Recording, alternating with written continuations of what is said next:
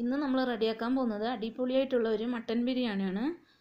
അപ്പോൾ അതിനാവശ്യമായിട്ട് ഞാനിപ്പോൾ ഇവിടെ രണ്ട് കിലോ മട്ടൻ നന്നായിട്ട് കഴുകി വൃത്തിയാക്കി വെച്ചിട്ടുണ്ട്. അപ്പോൾ ഞാനിവിടെ വലിയ പീസസ് ആയിട്ടാണ് ഇത് കട്ട് ചെയ്തിട്ടുള്ളത്. നമ്മളുടെ ബിരിയാണിക്ക് ഒന്നുകൂടി ടേസ്റ്റ് കൂടുതലായിരിക്കും. ഇപ്പം ഇത് നന്നായിട്ട് കഴുകിയതാണ്. അപ്പോൾ അടുത്തത് നമ്മൾ റൈസ് ഉണ്ടാക്കാൻ വേണ്ടിയിട്ട് ഞാനിവിടെ ബസ്മതി റൈസാണ് എടുത്തിട്ടുള്ളത്. നീളത്തിലുള്ള അരിയാണിത്. അപ്പോൾ ഇതേ രണ്ട് കിലോ എടുത്തിട്ടുണ്ട്. മട്ടൻ ഇവിടെ ഞാൻ കുറച്ച് കൂടുതൽ എടുത്തിട്ടുണ്ട്. അപ്പോൾ ഇത് നന്നായിട്ട് കഴുകിയിട്ട് നമുക്ക് വെള്ളം വാരാൻ വേണ്ടിയിട്ട് വെയിറ്റ് ചെയ്യാം. അരിയൊക്കെ നന്നായിട്ട് കഴുകി വൃത്തിയാക്കി വെച്ചിട്ടുണ്ട്. അതിന് ശേഷം നമ്മളൊരു പാത്രം അടുപ്പത്ത് വെച്ചിട്ട് ആവശ്യത്തിന് നെയ്യ് ഒഴിച്ചു കൊടുക്കാം. മൂന്ന് ടേബിൾ സ്പൂണോളം നെയ്യ് ഞാൻ ഇതിൽ ഒഴിച്ചു കൊടുത്തിട്ടുണ്ട്. അതിനുശേഷം നമുക്ക് കട്ട് ചെയ്ത സവാള ഇട്ട് കൊടുക്കാം. ഇനി നെയ്യിലിട്ടിട്ട് നന്നായിട്ടൊന്ന് മുരിഞ്ഞ് വരണം. അപ്പം അപ്പോഴാണ് നമ്മുടെ ചോറിന് നല്ലൊരു ടേസ്റ്റ് കൂടുതലുണ്ടാവുന്നത്. ഏകദേശം ഇപ്പോൾ സവാളയൊക്കെ മുരിഞ്ഞ് വരുന്നുണ്ട്. ഈ സമയത്ത് നമുക്ക് ബാക്കിയുള്ള എല്ലാ സ്പൈസസ് എല്ലാം ഇട്ട് കൊടുക്കണം. ഏലക്ക പട്ട ഗ്രാമ്പു മല്ലി കുരുമുളക് ഇതൊക്കെ ഞാൻ ഇതിലോട്ട് ഇട്ട് കൊടുക്കുന്നുണ്ട്. ഏകദേശം ഇപ്പോൾ സവാളൊക്കെ നന്നായി വരുന്നുണ്ട്. ബാക്കിയുള്ള സ്പൈസസ് കൂടി ആഡ് ചെയ്യാവുന്നതാണ്. ചെറിയ ജീരകം വലിയ ജീരകം ഏലക്ക പട്ട ഗ്രാമ്പു ഇതൊക്കെ ഇട്ട് കൊടുക്കാം.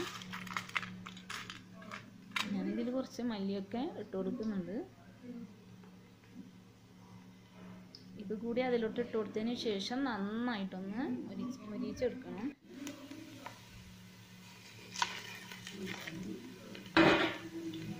അതിന് ശേഷമാണ് നമ്മൾ വെള്ളം ഒഴിച്ച് കൊടുക്കുന്നത്. വെള്ളം നമുക്ക് അരിയുടെ ഡബിളായിട്ടാണ് നമുക്ക് വെള്ളം ഒഴിച്ച് കൊടുക്കേണ്ടത് ഒരു ഗ്ലാസ് അരിക്ക് രണ്ട് ഗ്ലാസ് വെള്ളം എന്ന രീതിയിലാണ് നമുക്ക് ഇതിലോട്ട് ഒഴിച്ച് കൊടുക്കേണ്ടത്. ഇപ്പോൾ സവാളൊക്കെ ഏകദേശം നന്നായിട്ട് മുരിഞ്ഞ് വന്നിട്ടുണ്ട്. അപ്പോൾ അതിലോട്ട് ആവശ്യത്തിന് വെള്ളം ഒഴിച്ച് കൊടുക്കാം. വെള്ളം തിളച്ച് വരുന്ന സമയത്താണ് നമുക്ക് അരിയിട്ട് കൊടുക്കേണ്ടത് ഈ സമയത്ത് നമുക്ക് വെള്ളത്തിലോട്ട് ആവശ്യത്തിന് ഉപ്പിട്ട് കൊടുക്കണം. അപ്പോൾ നമ്മൾ അരിയുടെ പാകത്തിനൊക്കെ നമുക്ക് ഉപ്പ് വേണമെങ്കിൽ ഇട്ട് കൊടുക്കാം. ഉപ്പിട്ട് ആവശ്യത്തിന് ഇട്ട് കൊടുക്കാം.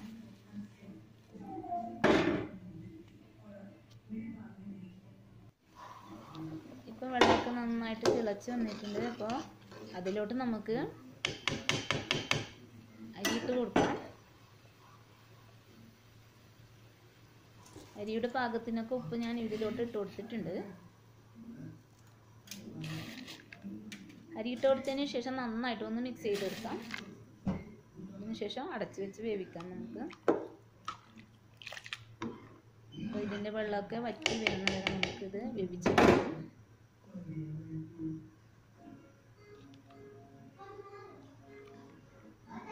നോക്കിയിട്ട് ഒന്നുകൂടി ഇട്ട് കൊടുക്കാം.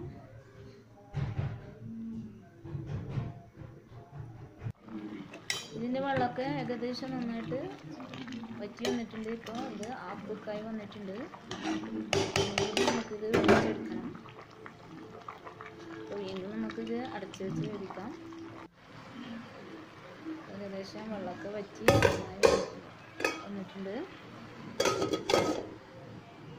ഒന്നുകൂടി അടച്ചു വെക്കാം. അപ്പോൾ നമുക്ക് ആ സമയത്ത് നമുക്ക് മസാലക്ക് ആവശ്യത്തിന് ഒനിയനൊക്കെ ഇവിടെ കട്ട് ചെയ്ത് വെച്ചിട്ടുണ്ട്. ഇപ്പോൾ രണ്ട് മൂന്ന് ടൊമാറ്റോ എടുക്കാം. എട്ട് സവാള എടുത്തിട്ടുണ്ട് ഞാനിപ്പം. ഒരു കുടം വെളുത്തുള്ളി അല്ലി എടുത്തിട്ടുണ്ട്. രണ്ട് വലിയ പീസ് ഇഞ്ചിയാണ് എടുത്തിട്ടുള്ളത്. പിന്നെ നാലോ അഞ്ചോ പച്ചമുളക് എടുക്കാവുന്നതാണ്. എരിവിനനുസരിച്ചിട്ട് വേണമെങ്കിൽ നമുക്ക് കൂടുതലും എടുക്കാവുന്നതാണ്. ഇപ്പം ഞാനിവിടെ നാലെണ്ണം എടുത്തിട്ടുണ്ട്. ഇതെല്ലാം കൂടിയിട്ട് നമുക്ക് പച്ചമുളക് ഇഞ്ചി വെളുത്തുള്ളി പേസ്റ്റാക്കി എടുക്കണം. മിക്സിയിലിട്ടിട്ട് ഒന്ന് ചതച്ചെടുക്കണം.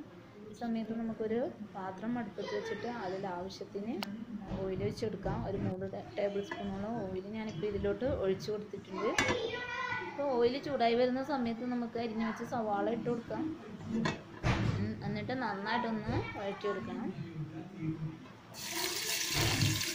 സവാള വഴണ്ടി വരുന്ന സമയത്ത് നമുക്ക് ബാക്കിയുള്ള ഇൻഗ്രീഡിയൻസ് കൂടി അടയാവുന്നതാണ് പച്ചമുളക് മുന്തിരി മാറ്റിയത് നമുക്ക് അതിലേക്ക് ഇട്ട് കൊടുക്കാം വളരെ ഈസിയായിട്ട് ഉണ്ടാക്കാൻ പറ്റുന്നതാണ് ബിരിയാണി അപ്പോൾ ഇതൊക്കെ കുട്ടികൾക്കൊക്കെ ഉണ്ടാക്കി കൊടുക്കാം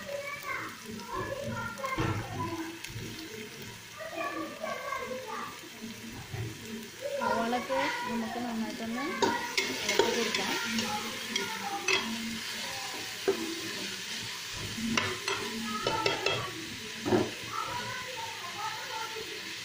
ഏകദേശം ഇപ്പോൾ സവാളക്ക് വേണ്ടി വരുന്നുണ്ട് വേണ്ടി വരുന്നവരെ നമുക്കൊന്നുകൂടി ഇളക്കി കൊടുക്കാം ഏകദേശം റെഡി ആയിട്ടുണ്ട്. ഈ സമയത്ത്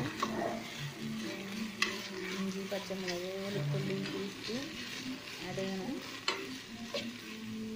അതുകൂടി ആഡ് ചെയ്തിട്ട് നമുക്ക് അതിന്റെ പച്ചമണം മാറുന്നവരെ ഒന്നുകൂടി ഇളക്കി കൊടുക്കാം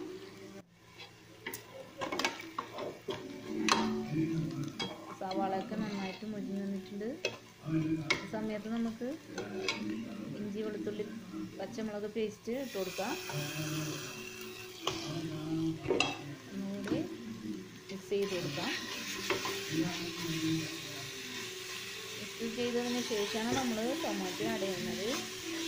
ടൊമാറ്റോ ആഡ് ചെയ്തതിന് ശേഷം നന്നായിട്ടൊന്ന് വെന്ത് വരുന്നേരം നമുക്ക് വെയിറ്റ് ചെയ്യണം. അതിന് നമ്മൾ ബിരിയാണി മസാലയ്ക്ക് ആഡ് ചെയ്യുന്നത്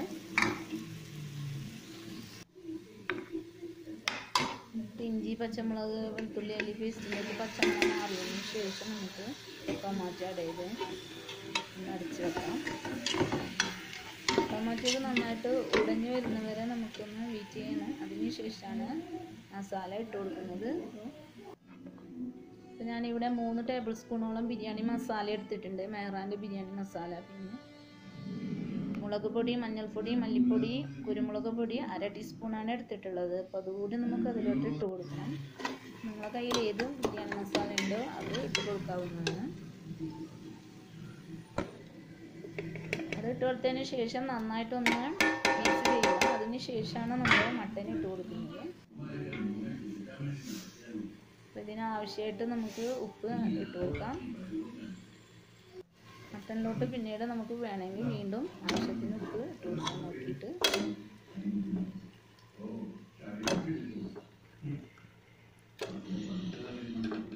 മട്ടൻ ഇട്ട് കൊടുത്തതിന് ശേഷം ആവശ്യത്തിന് വെള്ളം ഒഴിച്ചിട്ട് ഒന്ന് വേവിച്ചെടുക്കാം. വളരെ പെട്ടെന്ന് തന്നെ നമുക്ക് മട്ടൻ വെന്ത് കിട്ടും.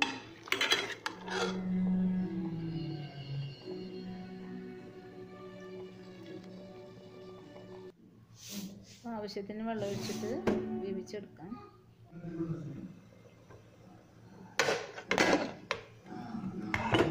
ഇപ്പോൾ മട്ടനൊക്കെ നന്നായിട്ട് വെന്ത് വന്നിട്ടുണ്ട്.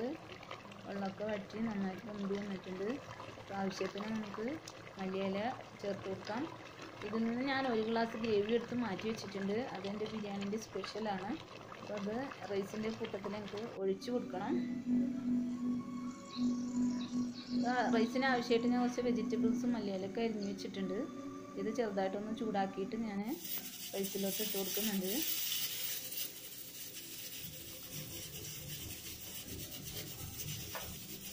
റൈസിലോട്ട് മല്ലിയിലൊക്കെ ഇതറിയതിന് ശേഷം നമുക്കിത് ഒന്നുകൂടി മിക്സ് ചെയ്തിട്ട് രണ്ട് പാത്രത്തിലോട്ട് ഞാൻ മാറ്റിയെടുക്കുന്നുണ്ട്.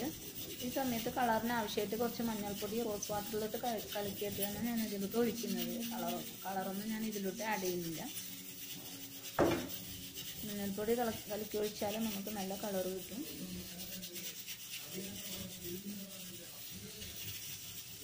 ഒന്നുകൂടി നമുക്ക് റൈസിനെ മിക്സ് ചെയ്യണം.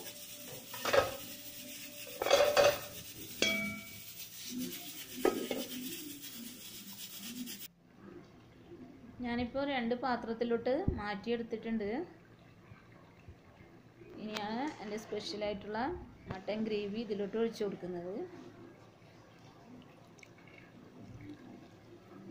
ഈ രീതിയിൽ ബിരിയാണി ഉണ്ടാക്കിയാലും ഒന്നുകൂടി ടേസ്റ്റാണ് ബിരിയാണി.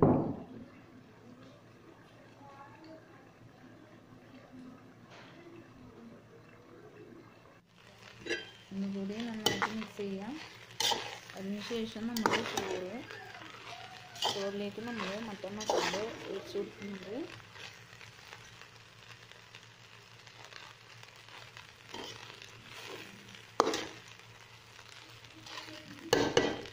എല്ലാ സൈഡിലേക്കൊന്ന് ഇളക്കി കൊടുക്കാം. ഇനി നമുക്ക് ഇതിന്റെ മുകളിലോട്ട് നമുക്ക് മസാല ഇട്ട് കൊടുക്കാം. വളരെ ഈസി ആയിട്ടാണ് നമുക്ക് ബിരിയാണി ഉണ്ടാക്കാൻ പറ്റുന്നത്.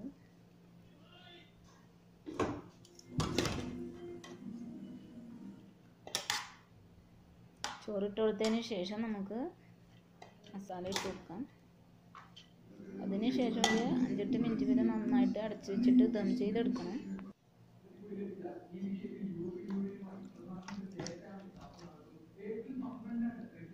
മസാല അതിന്റെ മുകളിലോട്ട് ഒഴിച്ച് കൊടുത്തതിന് ശേഷം വീണ്ടും നമുക്ക് ചോറിടാം.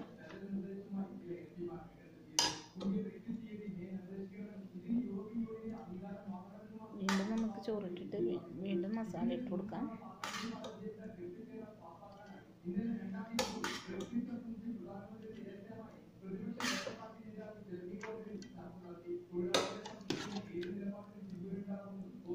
ഇതുപോലെ ഇട്ട് കൊടുത്തിട്ട് നമുക്ക് മല്ലിയിലയും ഒനിയനൊക്കെ ഫ്രൈ ചെയ്തിട്ട് ഇതിന്റെ മുകളിലോട്ട് ഇട്ട് കൊടുത്തിട്ട് വീണ്ടും നമ്മൾ ചെയ്യാം.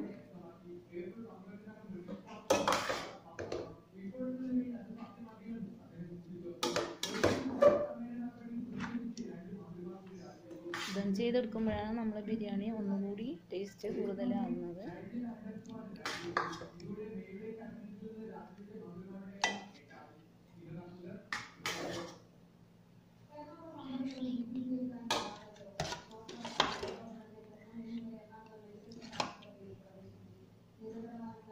ഏകദേശം ഇപ്പോൾ റെഡി ആയിട്ടുണ്ട്. ഇനി നമുക്ക്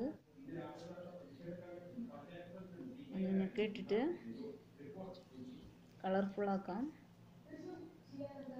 വെജിറ്റബിൾസ് മല്ലിയിലയും പുതിനയൊക്കെ വെക്കാം ദം ചെയ്യാൻ വേണ്ടിയിട്ട് അഞ്ചെട്ട് മിനിറ്റ് വരെ നമ്മൾ ചെറിയ തീയിലിട്ടിട്ട് ഒന്ന് വേവി നന്നായിട്ടൊന്ന് ദം ചെയ്യണം. ഏകദേശം നല്ലതായിട്ട് വന്നിട്ടുണ്ട്.